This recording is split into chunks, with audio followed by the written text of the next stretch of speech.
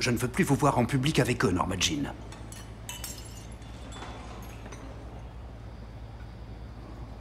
Et en privé?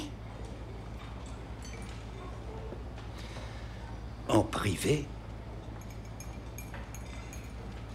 Prenez vos précautions. Oh, Monsieur Shin, ce que vous dites est cruel. C'est cru et cruel, et vous... Vous le savez.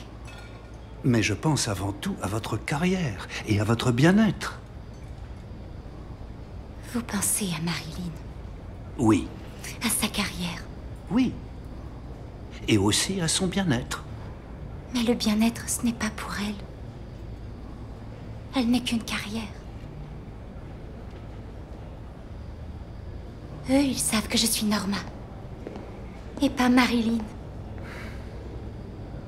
Et surtout, ils me comprennent. Je vous comprends. Je vous ai créé de toutes pièces.